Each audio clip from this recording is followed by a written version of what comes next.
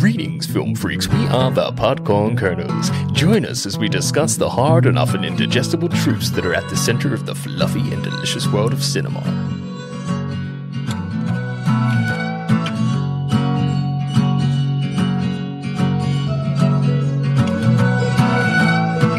What's poppin', people? Welcome to the Podcorn Kernels podcast. My name is Adam, and joining me in the earholes is Harry. Say hello, Harry. Uno, dos, tres, cuatro, cinco, six, says when we started delivery of roast dinners, you don't need a gun like this, you need a gun like this. On today's episode, we will be talking about Flee. This is a 2021 documentary film directed by Jonas Poher Rasmussen.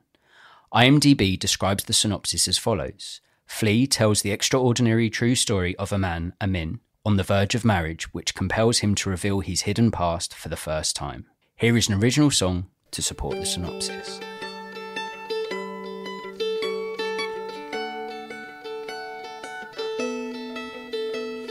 Imagine having to lie to survive. Putting your faith in a stranger to drive.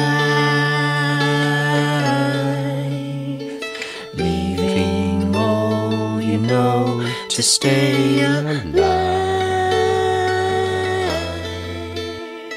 The struggles of a refugee.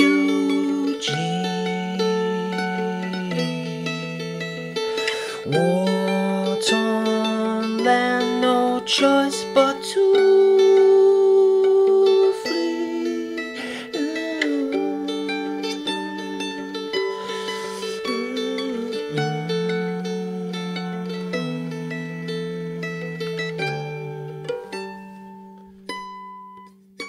Let's start with some facts about the film. Flee is reportedly the first film to be simultaneously eligible for consideration in the Oscar categories for animated feature, documentary feature, and international feature film. Me like? You like? Yeah, I don't really understand the categories. I understand best foreign film or say uh, best documentary Yeah, I don't and think there should animated be- feature. and animated. Yeah, that's crazy. Yeah, when you think about it like that, but it's not full animation. It's inter- it's interspersed with True. with real footage, archival footage, isn't it? That is a, a valid valid argument. Yeah. Like, maybe there has to be a certain percentage of the film that is animated for it to qualify. Yeah, I'd say one hundred percent. Has to be animated. Yeah, I think that's that's really great accolade for such educational and harrowing piece of cinema to be Clever, nominated for those at the same time. clever to have that much artwork going on that it can cover them different fields of accolades, didn't it? That's Yeah. cool. I could be wrong, but I don't think it won any of those awards. Out of the three, animated feature, documentary feature, and international feature film, which do you think it's most worthy of? Uh, it, was there a documentary on you? Said there Yeah, documentary feature, animated feature, or international film feature. documentary feature, but I'd have to know also what else it was up against at the time. Yeah, Like if there was uh, the act of killing or what's the whale one, Blackfish. Blackfish, they were excellent, good contenders. I'm all in for it. Yeah. I think it speaks to the quality of the piece to even be considered in in three categories. Yeah. Yeah. The So, animation is amazing yeah. because it doesn't it doesn't stay animated, Mm. does it? It strikes a good balance between animation and real footage that it sort of relaxes you, doesn't it, with that how how nice it looks, the animation and stuff. It's very colourful, it's very vivid, it's it's good to look at. Got that Tintin palette. Yeah, yeah, that's great. Yeah, exactly like Tintin. And then when that real footage hits, it's like, whoa, mm. because you, you're sort of lulled into a full sense of security when it's animated, aren't you? Yeah, and then when you see it, it's oh, yeah, impactful. Bong Joon Ho, director of Parasite, listed Flee as one of his favourite films of 2021, calling it the most moving piece of cinema of the year. he's got great taste. Yeah, He also loved Mad Max Fury Road. well, exactly. Yeah, I think I I like I like Mr. Joon Ho. Yeah, the And Paras- man- Parasite was mega. the man knows what he's uh, what he's talking about, and I, I I'd agree with him. It, it certainly moved me. This film. I think the Oscar voters might have missed a trick for not pushing it forward to to at least win one of those. It's weird, isn't it? because it's it's revered globally and by critics and everything. But it made a huge loss with money. It didn't make much money. It, I think it made eight hundred thousand dollars, and it cost three million to make. Yeah. So it's so strange when a film this so well received and so revered by the world, like Bong Joon Ho, for instance. Hmm. If you saw this DVD on a shelf, it's at five stars. Bong Joon Ho, one of the best things I've ever seen. That's a seller, isn't it? That's for me. It's like, oh, I'm going to pick that up. Exactly. Yeah, strangely, it didn't win the awards. I always think they miss great opportunities, though, with who they should be putting their Oscars onto. It's it feels now even in this day and age they still play it a bit too safe. I mean, I know it was a, a huge steps of inclusivity when um, Parasite actually won Best Picture. That that's the first time I believe a, a, a film from Yeah. world cinema has won Best Picture and not Best Foreign Picture. So they're taking steps in the right direction. But I'd argue that Flee didn't make money because it's not necessarily a film that would appeal to the masses.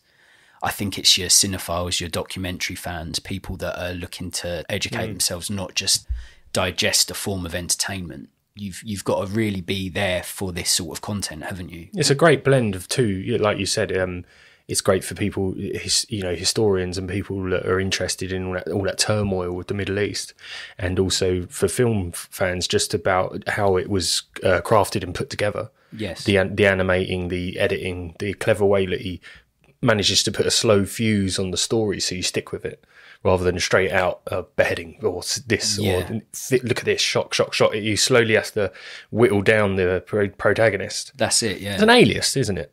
His name. He couldn't reveal his real name. yeah, um, I think that's right. Yeah. Yeah. So it's clever. So hit there, that director realizing that by making it an animation, this guy could tell his story without getting Yeah. reprimanded for A being homosexual, B being a refugee. Yeah. Yeah, so cool, man. I'd argue that um, a film like this is actually more impactful because there's not any of, like you say, that those shocking elements you see in documentaries. Like this is a this is a refugee story, and it is shocking what he goes through. But there's no real like depiction of of horrible violence, or there's no like gut wrenching. all implied, isn't it? Yeah, and it's it's a horrible experience he goes through, but it isn't lessened by like you say, that shock factor Yeah. of having a scene that that's just like, oh, I couldn't, I had to look away, I couldn't watch it. So I think it strikes that balance quite well. Director Jonas Poher Rasmussen initially conceived Flee as a radio production, then a short film, combining live action and animation, before finally settling on creating it as an animated documentary. I'm glad it's presented the way it is. Mm. I think it's it's more impactful with that animated element. I think it looks great. I love think, animation. Like you say, he's able to to retain his Anon- anonymity. anonymity. Yes, because it's it's uh, animated, so you don't actually see him, and he, he stops. He doesn't give his real name, so he's not under any threat of the authorities f- uh, from Afghanistan, where he he fled from finding out where he is or who he is, because he's from a culture that still, like you said, reprimands homosexuals, really Yeah. outdated with their views and stuff. So he's able to tell his story without falling victim to that, and I think it's it's really clever. It would been interesting to hear this as a radio production, but I don't think it would have got the audience numbers in. I mean, you don't. you- It'd have to be marketed in a way where you could tune in, but that's kind of a uh, self-deprecating to say this, but it's kind of a dying format, isn't it? Yeah, To listen to like an incredible story like that deserves a big screen. that's it. or the animation or the care and attention of a really artistic director who's also friends with the the subject matter, Yeah. which was cool. I think uh, it would be asking a lot of an audience to tune in week in, week out to listen to, say, it was in a podcast format. Because it is, it, I'm sure he's got enough story uh, with his experience of being a refugee and, and fleeing and all the trials and tribulations that came with that. But to to have I don't know six to ten hours of of just listening to that, I think it's far more impactful when it hits quicker and harder. Just seeing it in a neat an hour and a half animated package. Well, otherwise it's a, it's essentially an audiobook biography, and that's what he should have just done. Mm. So doing it in this form allows his story to be uh, condensed and made more effective because of the visuals, and throw it out there. Yeah. and it hits it hits a bigger audience. I mean, for the likes of Riz Ahmed and um, Waldau, I don't Yeah. know how to pronounce his name. Nor do I. Jamie Lannister. Yeah, Nikolaj Coster-Waldau. But uh, for the fact that them to be so moved by it to, you know, put their put themselves in the production role to try and assist the film get recognised, get get uh, funding, etc. I think it shows that it was a powerful film. And I um I heard that those those two, the big names that were producers of this film, they didn't actually take any money fr- from it. No. Which I respect because I think they looked at the story, Riz Ahmed's uh, heritage and Jamie Lannister He's being? Danish. Yeah, they've both got like a connection to the story. Yeah. And I think them putting that connection front and center rather than making any monetary gain Hmm. speaks to the quality quality of the product. Well, I'd rather have my name at the front of this project because it's a very, it's something to be proud of, and it's also a great way to show awareness and show the struggle of what is still happening today with refugees. Yeah. you know, there's a thousand thousand kids a day that happens to, and this one story is just him. It's just one guy who was luckier than most of them.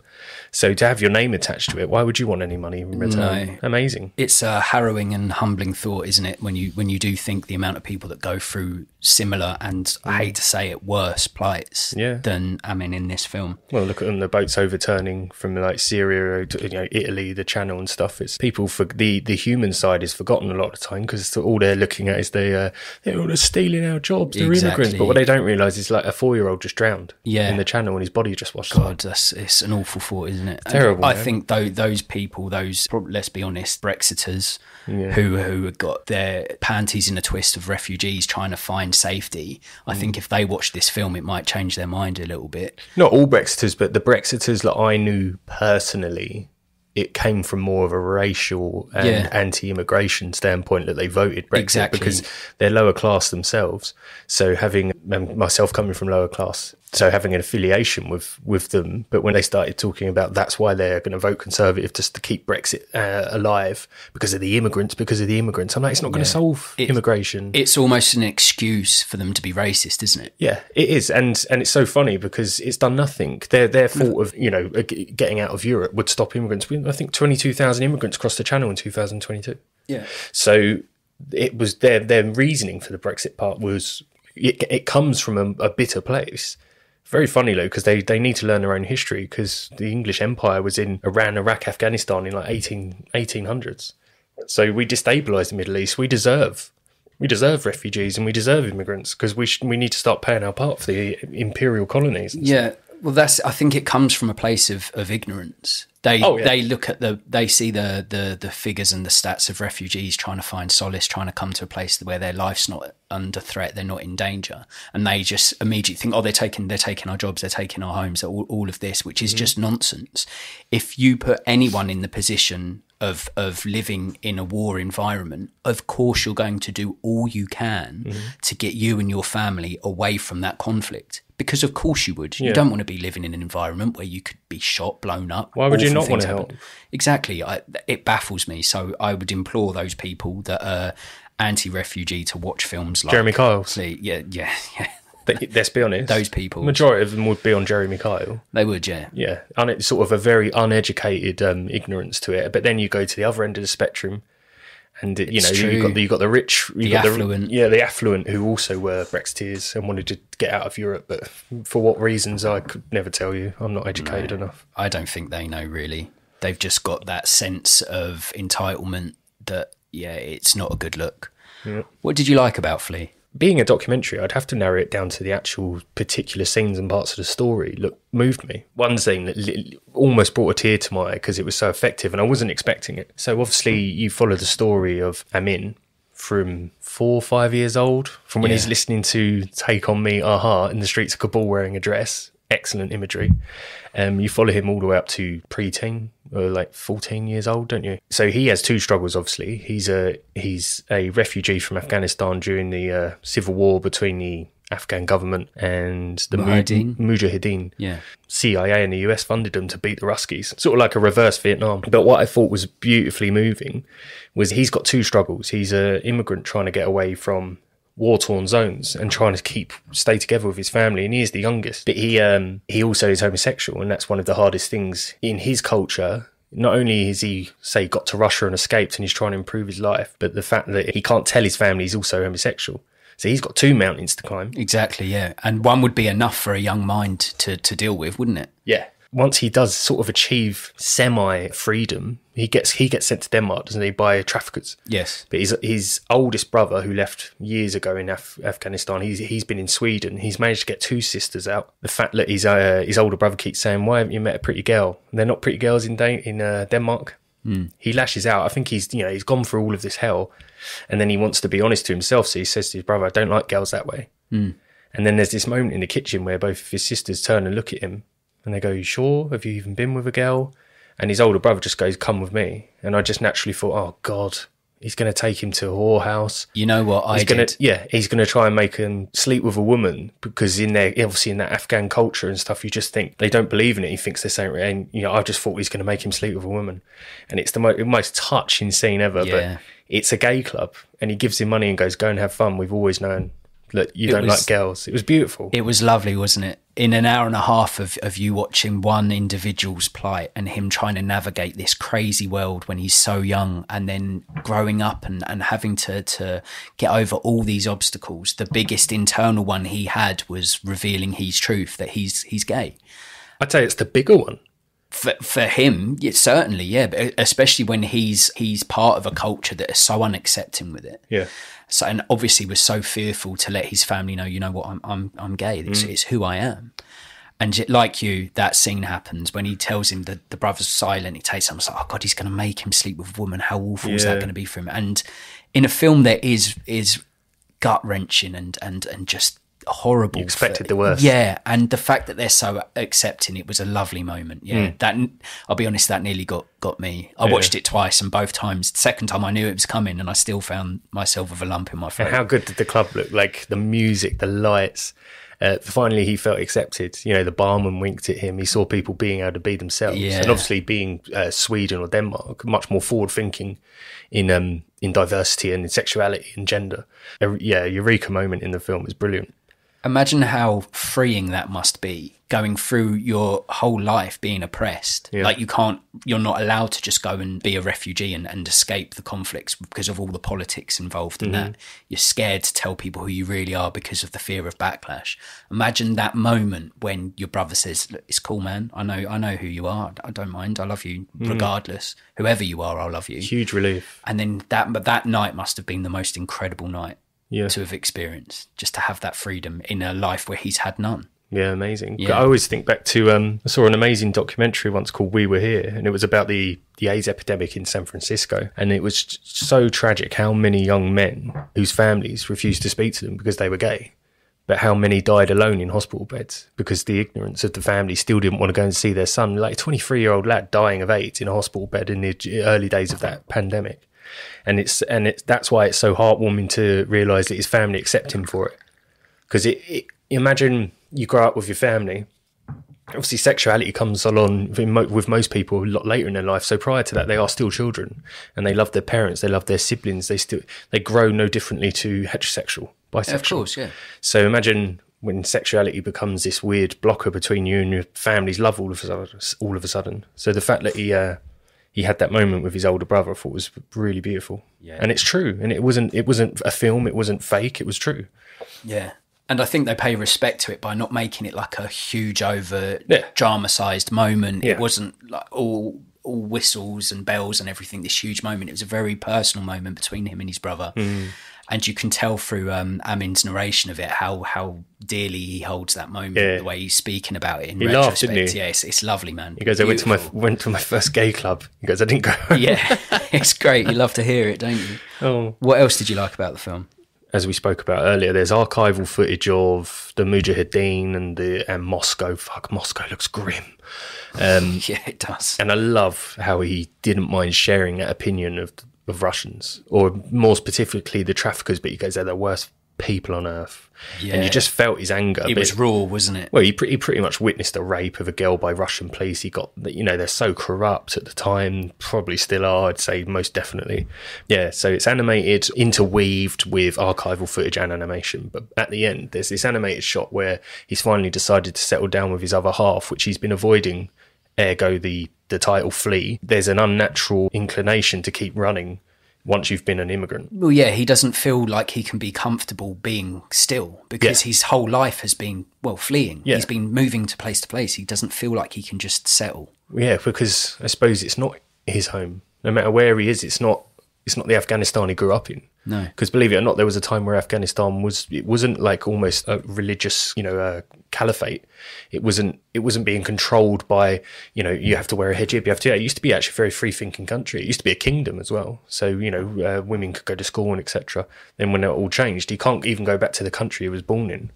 So I could I could never imagine that. Growing up No. in England, never have, never knowing what it would be like to be pushed out of it and never get to return. Amazing that he's uh, he's fleeing a lot. But yeah, I'll go back to the point. At the end, he's finally settled down with his boyfriend and made that decision to finally commit to a home, something he's never done. And uh, it's still animated. And his boyfriend goes, "Oh look, there's uh, there's raspberries down here. I'll go show you them. That's really cool. There's that whole bushel of raspberries." And they step down the steps, and then it cuts to the real shot Yeah. and it's it's it's exactly what the animation was. It's not a copy. It's not a copy of the real shot. They they did animate originally by using footage, but it's the real shot, and that real shot implies that everything you've seen is real Yeah. because they got it perfect with the animation. So that's a nice um that's a nice sign off. Yeah. It's it says everything you've seen here is real purely because I've just cut from animation to real. Yeah. It's a, a grounding moment, and those, though, like you say, scattered throughout the film is that that real uh, footage, and that that makes the impact more hefty, doesn't it? And for both the more difficult moments and the more uplifting moments. So at the end, you see he's found peace. He's found a place where he can, he feels he can call it home with the man he loves, and mm. you're seeing what he sees. His actual home, his actual abode, his his actual outlook, landscape. And that's it's the lovely. first time you see real footage in the present. Yes. every footage in the present is animated and all historic footage is archival Yeah. and the only time you see real footage is that bit with the bush at the end Yeah. yeah but you don't see him No. Hmm. Yeah, it's a lovely point. Yeah, I, I really enjoyed that as well. Any more likes? uh, i think that's all encompassed in what i've said Yeah, animation because it's a true story i mean how can you critique critique it it's it's a tricky one, isn't it? early doors i had a sus- i was I had a suspicion that i didn't understand why he was lying because he said um, all my family were killed by the Mujahideen, my dad, my sister, my brother. And then quite early on, it's revealed that his sisters are alive. And in Sweden, I was like, hold on, Yeah, why is he lying?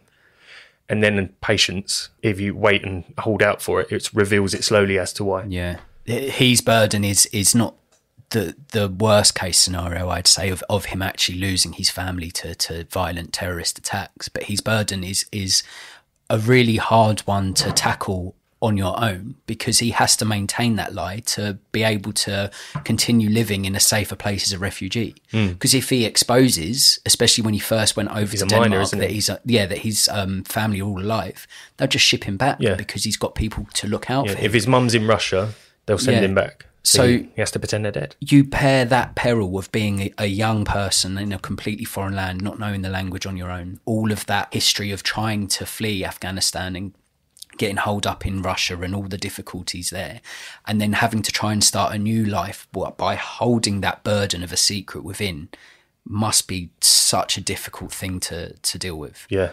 Yeah. It's amazing that he uh, came out as well as he did. Yeah. And, you Very know, level headed. And apparently, he's, um, the real person is extremely well known within the academia of the medical research that he's involved in. Yeah. Mm. So he's actually a very, very well known person. Maybe if, if you were clever, you might actually be able to find his real identity, but don't.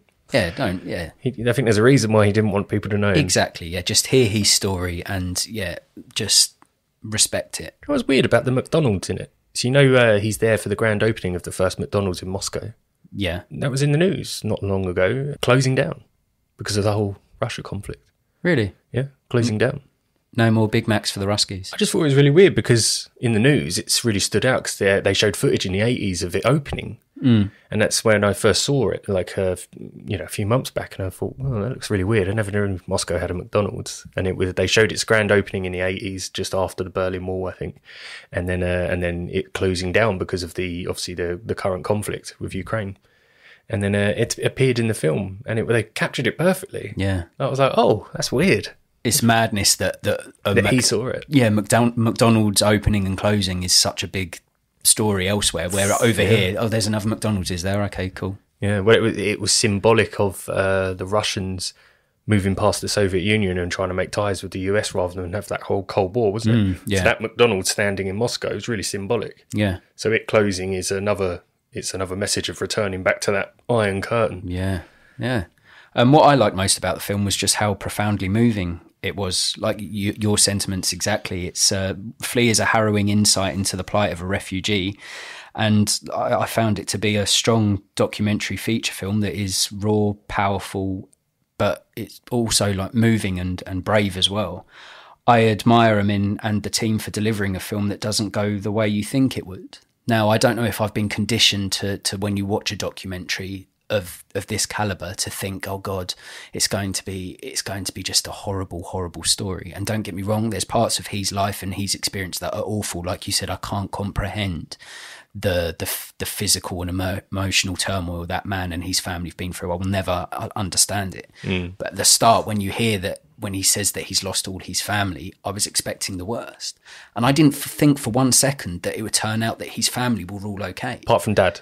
Yeah, yeah, that that sort of a given that his dad got taken fairly early doors between the in the conflict, and Yeah. you thought you expected the worst. The Afghan government thought he was a communist. Yeah, So he was definitely killed, wasn't he? yeah, And he disappeared, but they killed him. I think it's it's safe to say, yeah. Hmm. But I, I think, as I say, you see documentaries like this, and you after 10, 20 minutes, you're like you sort of brace yourself for the worst.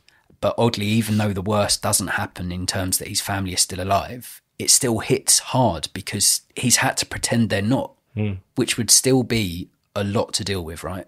Well, yeah, because he, he well, I think when he first got to Denmark and say he'd made his freedom to a quite a you know democratic westernized country, he had to be alone still for two three years. He couldn't Yeah. couldn't contact really. He couldn't talk to anyone because he had to hide the fact that he does have family. Yeah. So that would have been can't even imagine what he got up to or like how he fed himself or did anything. I suppose he got a bit of help from the state, but how lonely. God, yeah.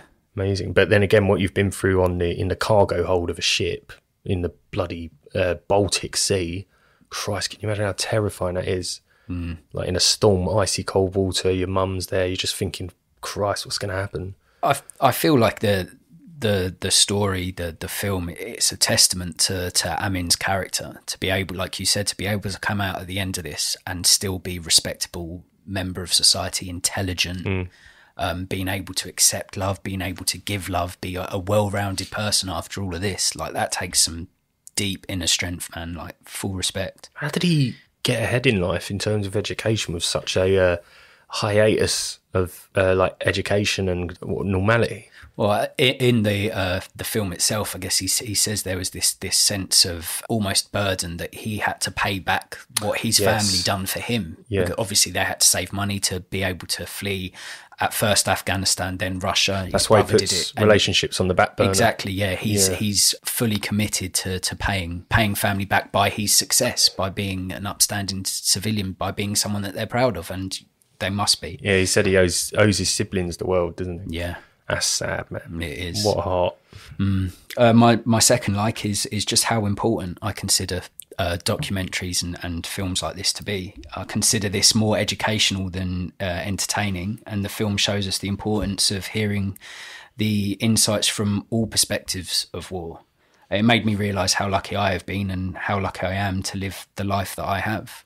Now, all too often, um, refugees, uh, particularly in uh, English media, they, they can be vilified. There are there, there's more people coming over, like, and you get the, like we mentioned earlier, the Brexiters, the ignorant racists that are up in arms about it. But you listen to their stories, and like you said, this man, this man's story is one of millions that have gone through similar or worse experiences. Like, it's important that these voices are heard.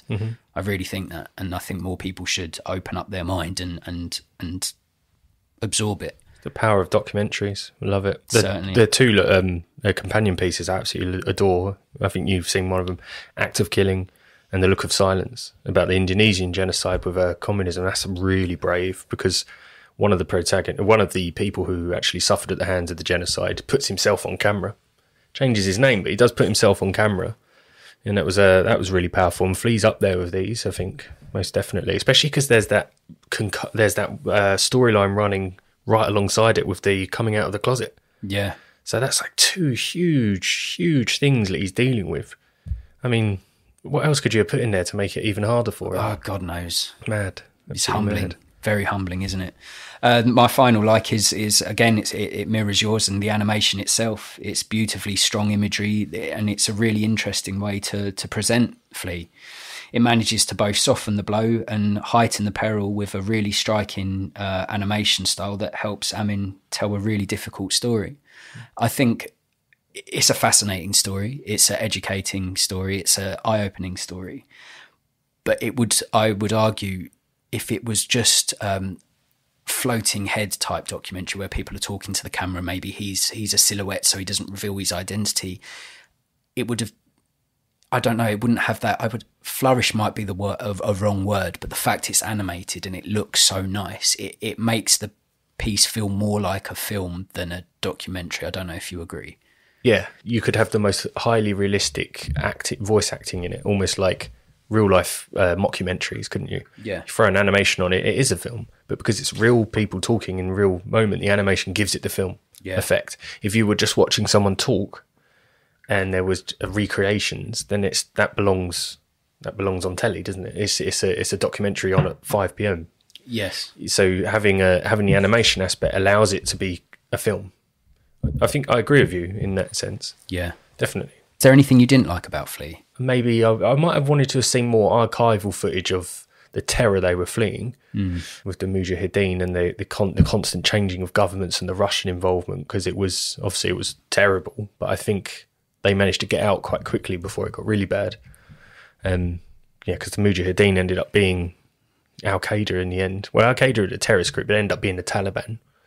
You know, so um, what the, what he left behind only ever got worse Yeah.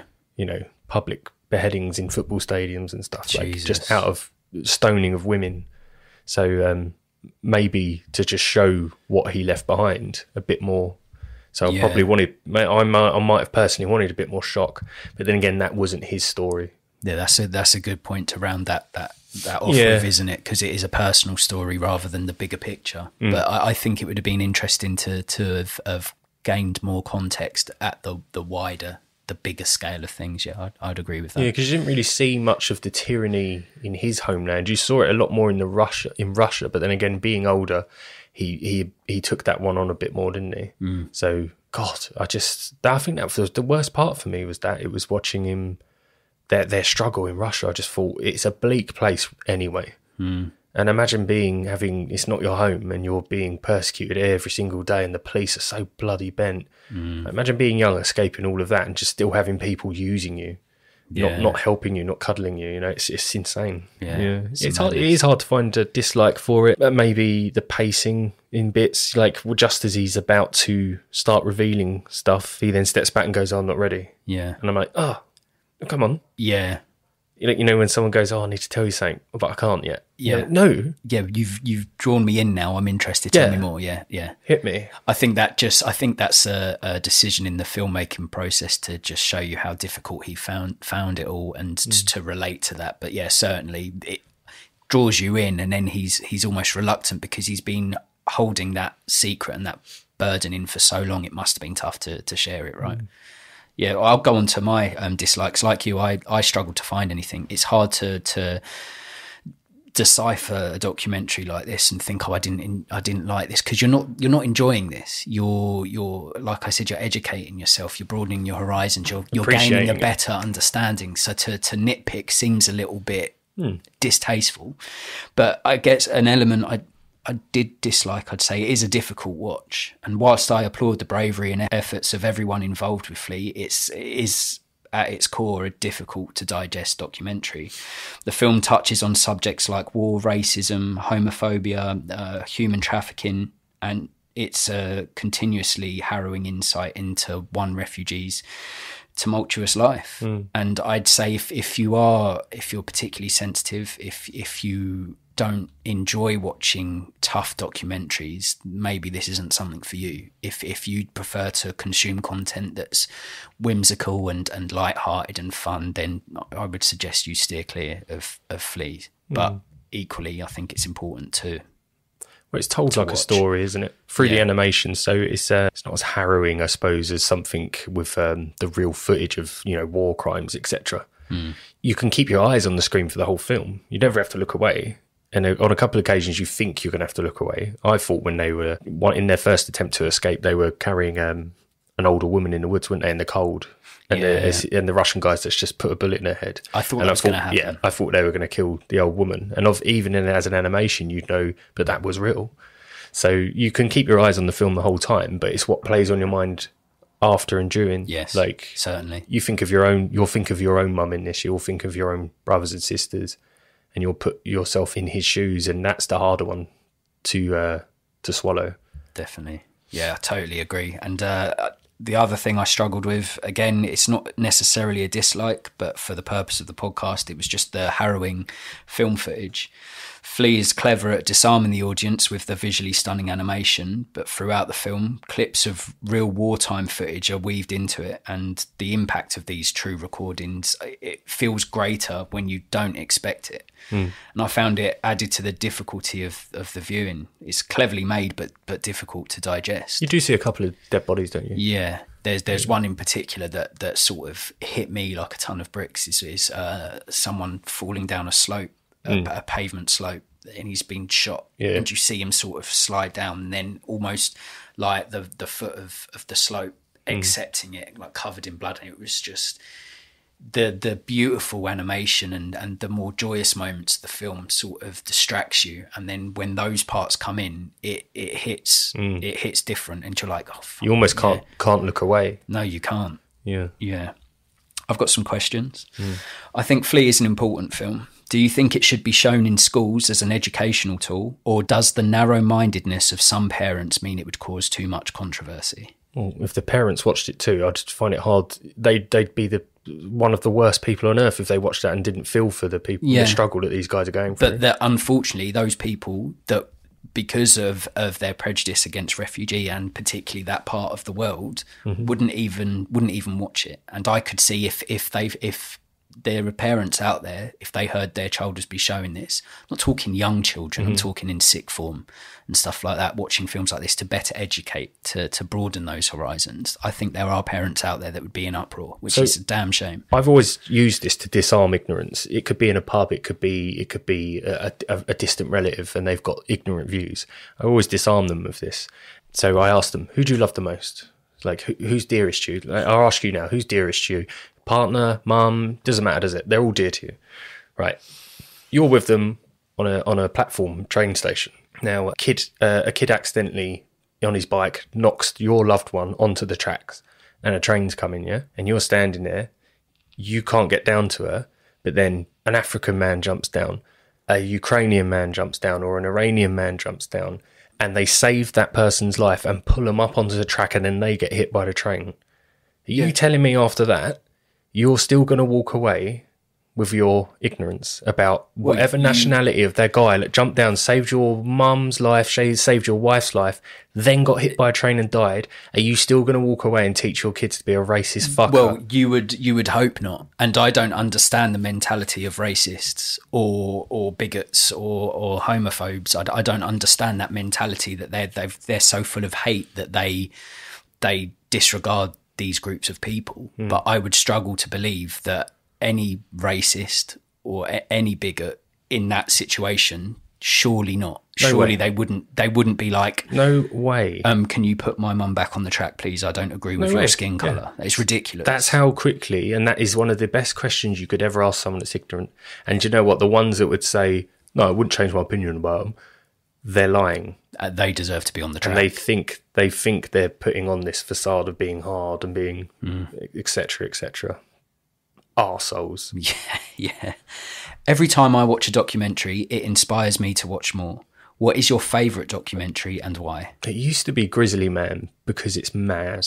The Werner Herzog documentary because it was so it was such an odd documentary. Blackfish is up there.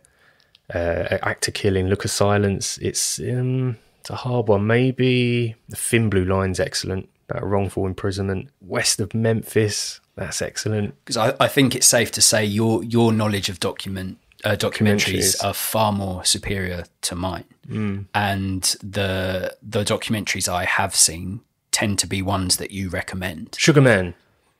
Sugar Man's probably my favourite. What's that one about? That's about Sixto Rodriguez. He was uh, he was the the Elvis equivalent in South Africa during apartheid, but he was this poor, almost homeless musician in Detroit in the freezing cold, living alone.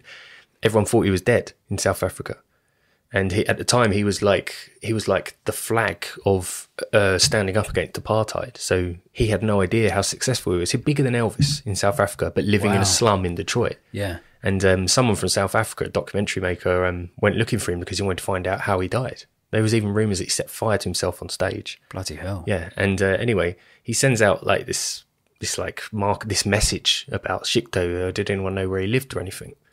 And he's it, Sixto's real daughter messaged him and went, "My dad's not dead; he's alive." So they go out to find him, and then they bring him back to South Africa, and he puts on a gig to you know four, five, four or five thousand people singing amazing. his songs, Yeah. which he never even knew they Wow. knew. Yeah, so S- S- Sugar Man's probably yeah probably my favourite. See, I, I know you've um, spoken to me about that one before, and I, I do want to check that one out. So that would be the one that you would. That would be the one Oh. that you would offer as a suggestion to others that are looking to to expand on their. Yeah, because Documentaries. it's uh that's that's probably one of the most incredible underdog stories you could ever watch, and it it doesn't hurt at all that he's he's one of the best songwriters probably ever. Really, Yeah, he was he was around the time of Bob Dylan, and he did Bob Dylan better than Bob Dylan. okay. He, he amazing song, very heartbreaking, but uh, beautiful, uh, beautiful film. Yeah, I'll be sure to check that one out. Final question. Uh, watching Flee really hit home that behind every refugee is a story of struggle and desperation.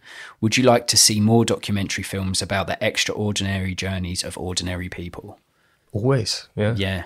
I think if when it's real, I think any film that starts with these are based on true events or this is a true story, it only adds and and helps support that film because you're invested in in the true story, aren't you? You're, it's, it's like, God, did that actually happen? You find yourself looking, did that actually happen? Yeah.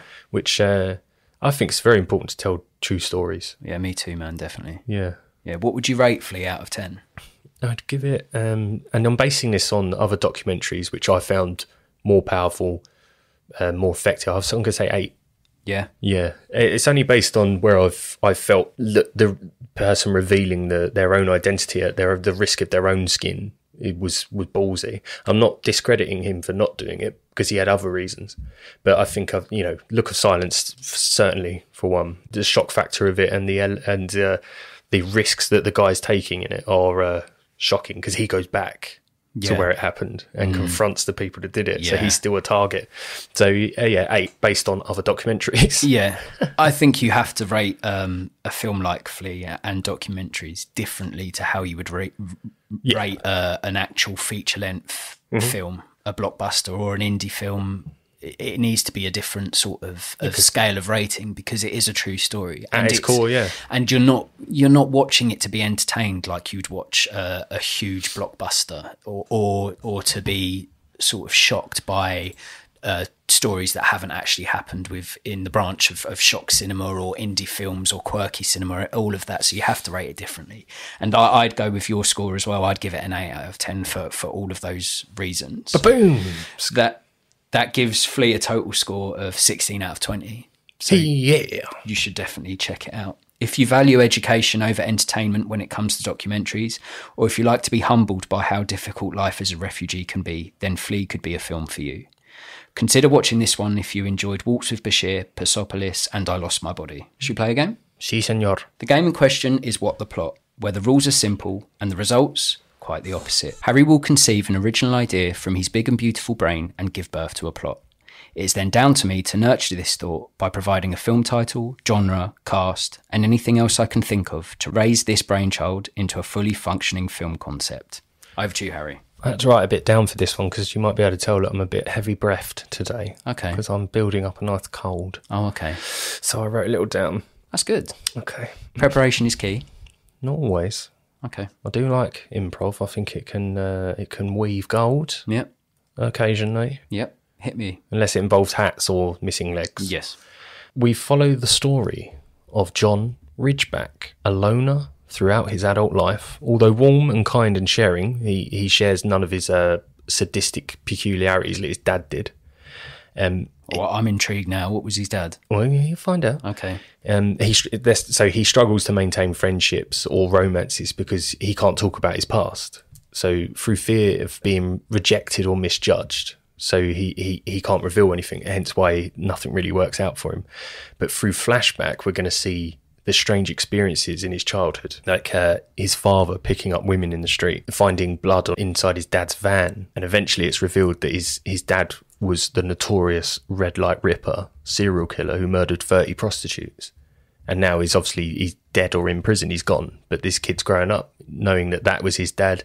And he's got to hide his name. He's got to hide his identity. Essentially, you could you could even liken it to the real uh, Gary Ridgway, John Ridgeback. I didn't even plan that. So John Ridgeback's the character's name, right? So Gary Ridgway was the Green River Killer. Okay. Killed like 50 prostitutes. Right. Um, and he had a son, actually. So maybe I have been watching too many documentaries. Yeah. So uh, how do you move on with your life?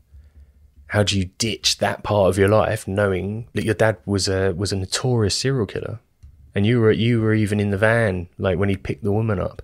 And uh, he'd say oh go and play with your bike. And in that time he'd murder someone. And you come back to the van and stuff like he grew up with all of these weird memories. So in the film we see you know it starts with the loner the guy in his adult life having a very difficult time socializing talking with people building romances. But then through flashback you see why.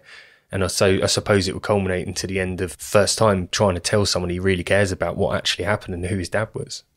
Okay. Because who would stick around? If you told someone your dad was the red light ripper, they're never going to look at you and think, God, it, he's, he's fine, he's normal. They're going to think he could do it as So- well. I, look, I go on Wikipedia. Oh my God, his dad did this, he did that. So has the um has the son managed to attain anonymity?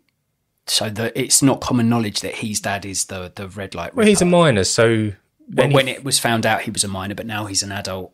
Well, yeah, so they, they would have moved life. them probably and Okay. changed their name. Even if they didn't, he would have done it himself. You you can legally change your name past a certain age, can't you? Yeah. you, you every day you're living a lie. Because say you're say it happened to him when he was nine, but now he's thirty and he's in a bar and a girl shows him attention. He dates her for a few, and then she goes, "I want to meet your family," and goes, "Oh, um, they died." She goes, "Oh, what'd Yeah. your dad die of?" Like, I- I- how how much will the lies just start rolling off his tongue? And if he tells her the truth, she's going to be like, "Oh, no chance." I guess similarly to Amin in um, Flee, he's holding this burden within Yeah. himself, and I guess that like if if throughout his life he's trying to come to terms with this, um, he's he's had to keep people at an arm's length because of course when you meet someone through the evolution of the relationship you talk about the past the family and all of that stuff it'd be a very uh very difficult thing to to open up about Well, this is someone else's shame, though, isn't it? Yeah. So it's even stranger because it's not actually his actions, but he's suffering the consequences of his dad's actions. yeah It's like being Hitler's last surviving relative, isn't it? Yeah. So I'm thinking, as part of this story, to try and find some closure. Maybe he's the the red light ripper is Yeah. still alive. Maybe to try and find some closure, he he goes to visit his dad. He hasn't visited him all the time he's been in prison, but he because he's he's he's a warm, good guy at his core, the son. And he, to be able to move forward and, and allow love in, he's got to sort of uh, to, to sort of visit that part of his life Who could?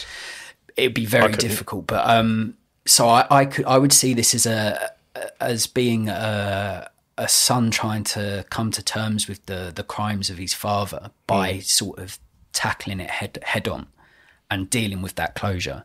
And I wouldn't ever within the film I'd never see it as him gaining closure, never getting close to his dad. I would have his dad as this ab- abhorrent, this monster. still now, just yeah, he, he he still sees himself as the victim. He's really aggressive, really nasty to his son, and the film sees the son going to see the dad on numerous, numerous occasions to try to get the bottom of it, better understanding, so he can move forward with his life.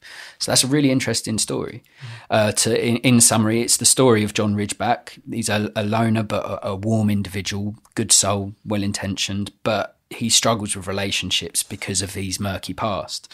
In his past, the, reveals that his dad is the notorious red light ripper who 30 years ago picked up women and Yeah. savagely killed them. Serial killer who's been caught. And the story revolves around John Ridgeback trying to get over his past, better understand it, and and try to move on with his life. Yeah.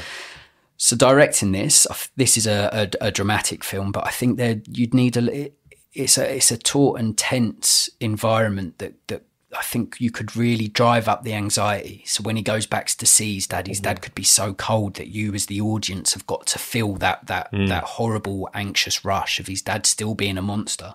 So I would have the Safdie brothers directing, who, who are who are making their name in this really niche world of anxiety-induced filmmaking. You, Oh, God, yeah. you look at Good Time and Uncut Gems, like yeah, that gets the heart beating. So I would put a son being exposed to to his dad and the menace of his dad and having to deal with that could really be uh each meeting with him is is more an- anxious, anxiety inducing than than the last.